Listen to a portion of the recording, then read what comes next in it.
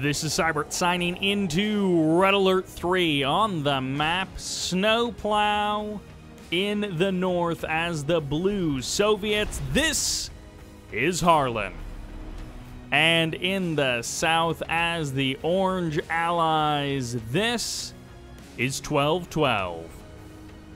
They are both smurfing in this particular game. And uh, this game was labeled as like game four. So there was no game one, two, three, and uh, no other matches as well. So we just have like a random game four from the replay section over on game replays. And uh, yeah, I don't know anything else about this. Now, for those, some of you are going to be familiar, Harlen is a Soviet player from China. 1212 is also a Chinese player. I'm less familiar with him, but there are a couple of players whose names are just numbers. Uh, one guy I think was like 11 or maybe 11 11, and that might actually be the same guy as 12 12. I don't know, but I think he played Empire against Dimon, so who knows? We've got a Soviets versus Allies, and some of you are going to be tremendously upset that the Allies are playing orange and that the Soviets are playing blue, which is sort of the reverse of the colors they should be. Fast airfield coming out from 1212, but not ultra fast. And uh, this is feeling a little bit reminiscent to what we saw Demon doing in that series versus Pika recently. A lot of flak troopers. We saw Demon do more with flak troopers in that show match versus Pika than we have seen people do with flak troopers in a long, long time. Third expansion on the high ground, it looks like. Meanwhile, classic allies forward positioning of that MCB. Bear does get sniped, so no delay on the third refinery from our allied player. Couple of dogs and bears going down. By the way, big thanks to the folks who support the channel over on Patreon, especially some of the newcomers like Josh C, Zero Below, Cameron S, Jacob R, David B, and Yannik. This is just so many flak troopers, and he's keeping around the flak cannon as well, so he's not totally confident in those flak trooper numbers. Third refinery comes up for both players, and they are staying relatively evenly matched in that regard. Super Reactor coming up as well. And of course, a big thanks to longtime supporters of the channel as well over on Patreon. Oh, he's going walls. Okay, so we'll see what his follow up to the walls is going to be. But uh, longtime supporters like Oz Media, Media Storm, Deadly Shadow, Anoxic, and Spud. Big thanks to all those guys, of course. Always appreciated, never obligated. And what is going on here? At least one Vindicator will go down. Second Vindicator takes a good amount of health, but does manage to escape. I think only two of the flak troopers ended up going down. And obviously, walls aren't expensive, but they do cost something. Conscripts were able to take down the dog. They were able to garrison that building as well. And this Vindicator is just going to be wasting its time taking down those bears, which are being a bit of a nuisance. Now, the walls, what we've seen in the past with, uh, in particular, like Empire players on Infinity Isle, is the walls can be used as a delay tactic when you get up an economic advantage right from the beginning of the game. In this particular case, we have an expansion to a fourth refinery, and as you can see, there is no ground army from 1212. And that means Harlen needs to sort of make his decision. Is he going to go greedier on the eco as well, try and take four and five refineries himself? Or is he going to try and bust down the front door? His window of time to bust down the front door and really punish the Allied players seems to be closing. We got a barracks up, we got a war factory up as well. This front line of the Allied players is getting more and more robust. However, we did see a Twin Blade sneaking off to the side, a MiG as well. This Twin Blade, maybe it's loaded up with flak troopers, maybe not. A couple of MiGs going to be taking some shots at the Apollo.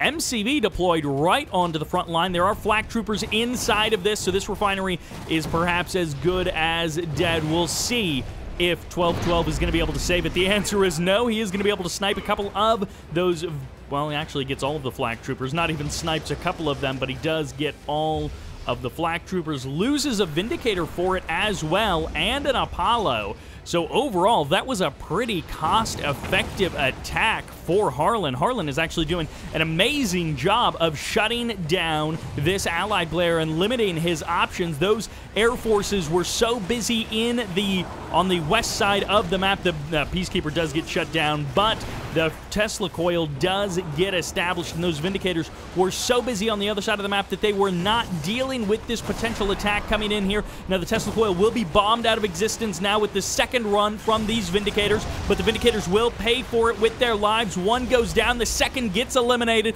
and once again, getting value almost out of every single exchange. Harlen is not in total control of this game, but boy oh boy is he doing an amazing job of limiting this allied player. Bug Alert 3 on the way here as we do have a Harvester getting knocked offline for no fault of the player.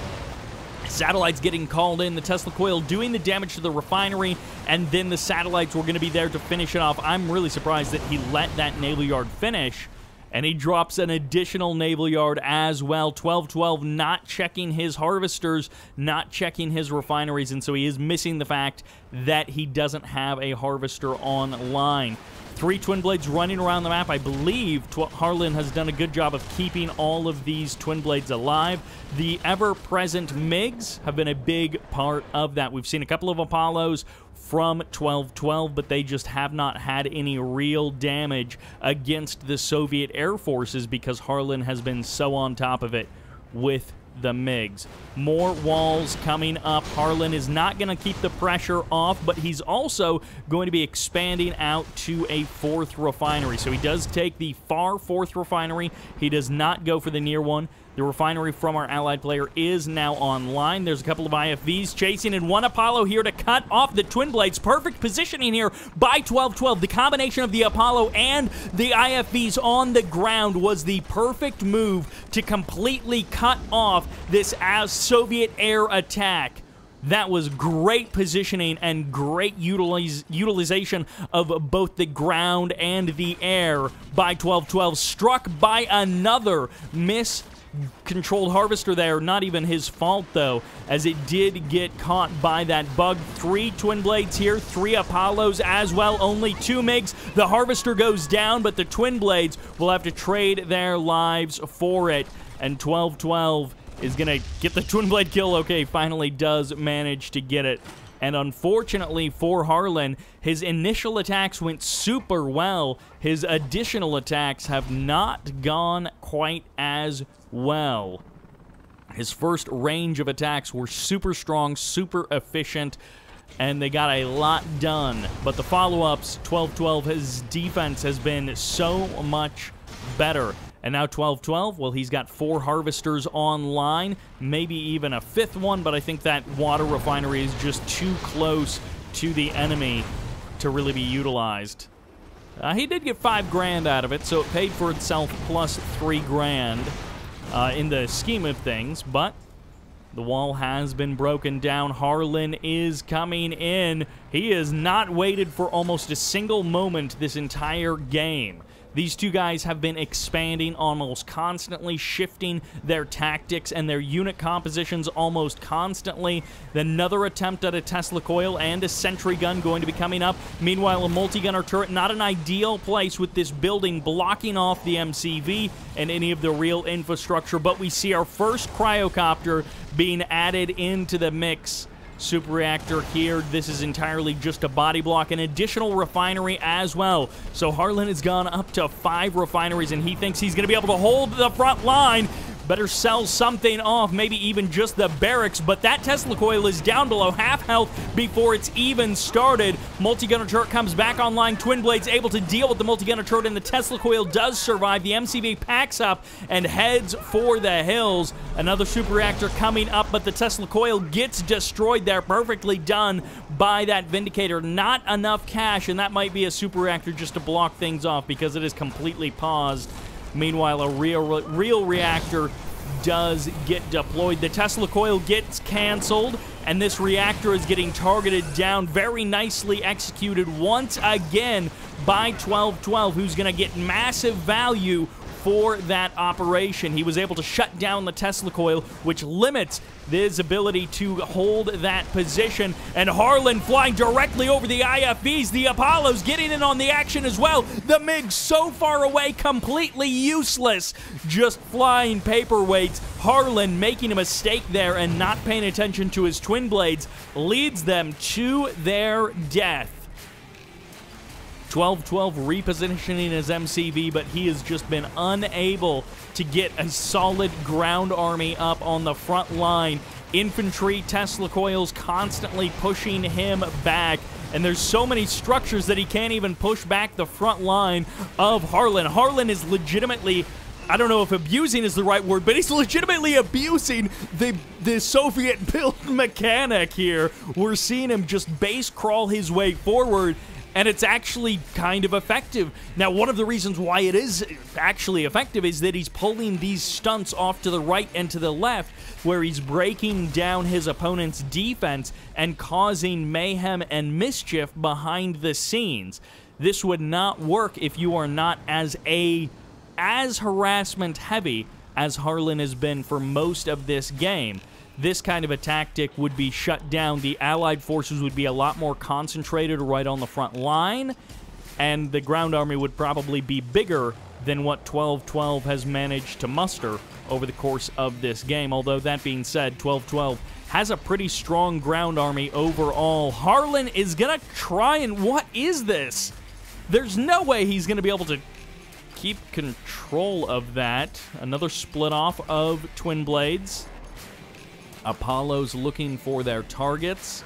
They're going to meet the MiGs. This is 4v3. Good control on the Apollos. The MiGs do buy enough time for the Twin Blades to escape for the current moment. The Twin Blades over the bridge there, and the Apollos do back off. The Bear kind of in the southern half of the map, just keeping an eye on things. Satellites getting called in. Harlen is going to use this to try and break up the Allied front line. Low power mode just as a war factory gets added on as well. But Harlen is actually uh, not going to attack at all. He's just happy to play it safe for another minute. This Allied player has pushed multi-gunner turrets sort of to their limits. Two on one refinery, another one over here on the east side next to that refinery, and he's finally back online. The Twin Blades trying to learn their lesson about avoiding the ground where the IFVs might be. Nice pre-split on the Twin Blade there. If there were IFVs there, he would have been able to avoid the stacking and the splash damage, but uh, Harlen actually turns around.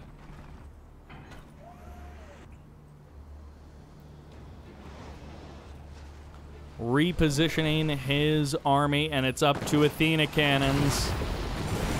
Wah, wah. 250 credits short of value there. So Harlen was not able to hold that ore refinery for long enough that it would uh, pay for itself. But Athena cannons are here, and this is where the allied player in this case has an opportunity to take the tempo and take control back in this game. Two more multi-gunner turrets. You better jump on these or jump on the power plants or something because you need something to break down these multi-gunner turrets. Flak troopers inside of the building is a nice touch. Uh, one multi-gunner turret goes down, brings the second one back online, but it was already at half health. MiGs need to be in a position to defend against these Apollos. Four Apollos show up, but they were engaging almost directly over those flak troopers. And now the flak troopers coming to the front line. Those Apollos would have to suicide themselves to kill any of the twin blades. A second refinery goes down, and cryocopters are now here. This might be a donation of cryocopters. There are four cryocopters here, so the MiGs are going to have to try and deal with them, and they finally do get the freeze on every single one of those flak troopers, but two of the cryocopters go down. A third one so incredibly low on health, but the Apollos have been able to once again break the air forces of the Soviet player. Three flak troopers on the ground breaking through those Apollos, and the twin blades trying to get inside of their minimum range range, but they can't. The Apollos escape, and 12-12 with the use of cryocopters and Apollos breaks through the Soviet attack and keeps the pressure on Harlen. Two refineries down, but the Kirov is now here. The back and forth has been incredible this game. These guys have been going toe to toe, neck and neck. They are extremely evenly matched between the two of them. And this has been such a wonky game on Snowplow that looked so ordinary at the beginning. Huge amount of hammer tanks. Whoa, tons of hammer tanks that have gotten, gotten added on over the course of the last couple of minutes. Athena Cannons are going to be able to snipe those V4s. No, the Athena Cannons don't get the lock. The V4s also miss, though. They do with go. They do go with the spread shot there, and it just doesn't quite land. Hammer Tank's able to clean up the last remaining walls. Bullfrog's also present. This is now five cryocopters coming in here. They're not going to go for the shrink. Okay, I'm not actually sure why he did that. He went forward and then uh, backed off without any real plan. I thought he was going to shrink down the, the V4s or something. Couple of Apollos here. Dreadnought gets added into the mix, but shrunk down immediately. A flak cannon added on as well. I do love the positioning of these bears. We've seen this from Harlen pretty consistently throughout this game. A couple of bears in the enemy's camp just keeping an eye on things. You know, if you want to fly a couple of Apollos or some cryocopters over for uh, Cryocopter, maybe going a little bit too deep. Barely it escapes. 12-12 now twice having these Cryocopters just barely escape with any health at all. 1 HP or something, and they manage to get out. But these bears that we've seen sort of spread around the map, we saw one down in the Southern Sea uh, earlier in this game. I do love the addition of the Dreadnought and the Akula sub heading down to the south side to harass that water expansion. It's going to cut off another attempt of 12-12. 12's gotten a lot of value out of that water expansion, though, so he's going to be somewhat all right letting it go. Uh, two Kirovs on the front line, a third Kirov being added into the mix. V4's not landing any shots. Aircraft carrier gets added on. Where did this boy come from? But a terror drone is here to shut him down. Double naval yard and the ultra torpedoes landing with the V4 rockets. The terror drone getting the kill there. Mirage tanks cutting through the conscripts, but the conscripts are cannon fodder here. They're not designed to break the Allied front line. The V4s do keep up the assault, but the Dreadnought goes down out on the water. The Akula sub does break down one of the multi-gunner turrets, and the Cryogeddon is here. Three hammer tanks, five hammer tanks in total, caught on the Allied side of the map. Only one Bullfrog gets frozen there. The Allied advance can't go too far as this Akula sub continues to just bust down that refinery. The free trade upgrade has been purchased by 1212, so every load of ore is $312. Gets him a little bit of extra. Kirov's coming forward, forcing the front line back, and then one of these hammer tanks may have just got himself an Athena cannon upgrade. We'll see Mirage tanks push forward. Kirov's closing in the front line of the Allies. Can't stay where it is because the Kirovs will make it obsolete. Cryocopters still managing to hold the line if they can. Anything that comes forward might get frozen, but no, the front line keeps getting pushed further and further back. V4s raining fire down on friendly and foe units alike. The refinery gets replaced. The harvester is offline once again. The ultra torpedoes fire off, and down to half health goes that refinery. There's the freeze finally being effective, at least on one of the V4s. The second one gets broken down by that Peacekeeper, not actually by the Athena cannons, and another refinery eliminated. 12-12 is uh, having some trouble keeping his refineries up. He has not retaken the one on the high ground, but another Dreadnought gets sniped.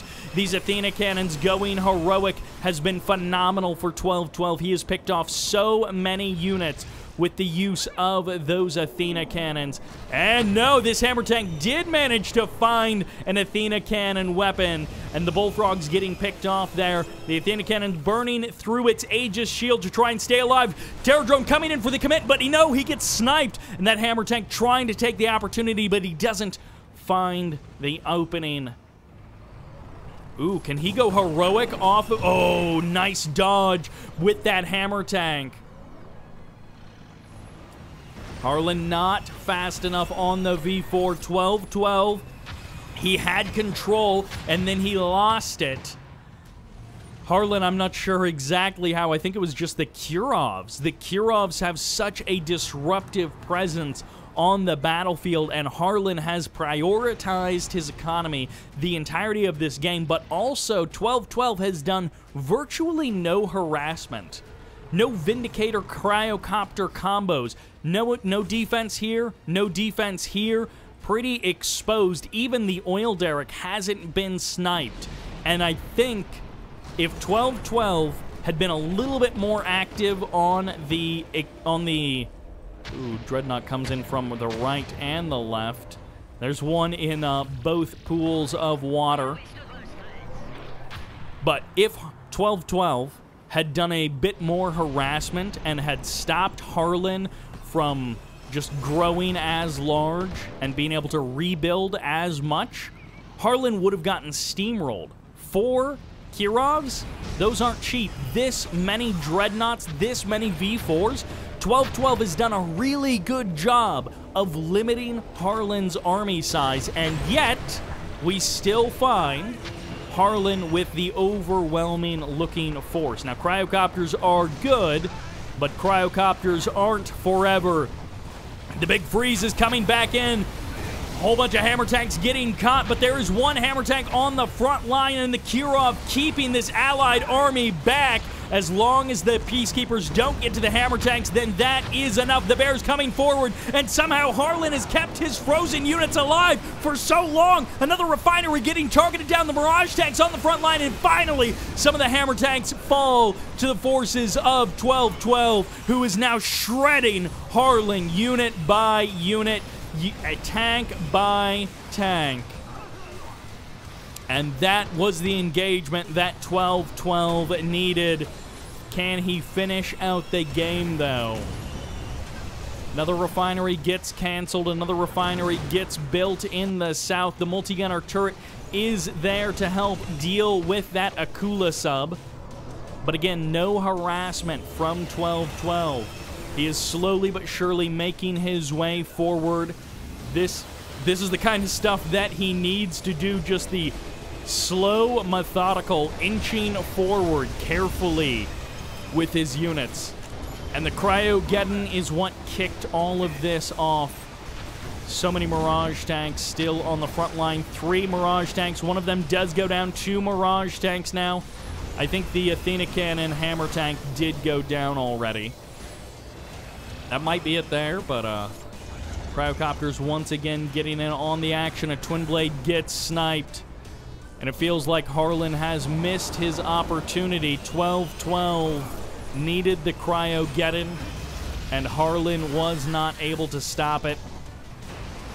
More tanks just getting picked off. Harlen is not going for a big commit or a big attack. And there's actually going to be the shrink down of the MCV. The Cryocopters were never totally dealt with. And now 12-12 is just going to steamroll Harlen.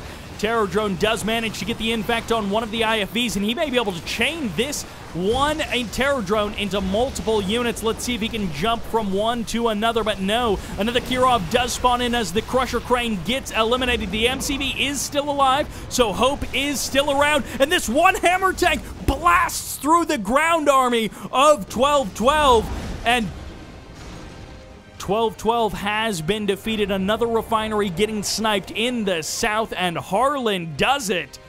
I, I thought 12-12 was going to be able to grind through Harlen right at the end there, but no, Harlen pulls it out. And that economic difference is the exact reason why Harlen was not playing some amazing strategic game by the end there. He was playing the mass units game and 1212 never disrupted his economy. He was focused on that cryogeddon, and that's great for a moment, but he didn't have the follow-up to finish the game. That will do it for this match, for this video. Thank you all very much for watching. I hope you enjoyed it, and this is Sybert, signing out.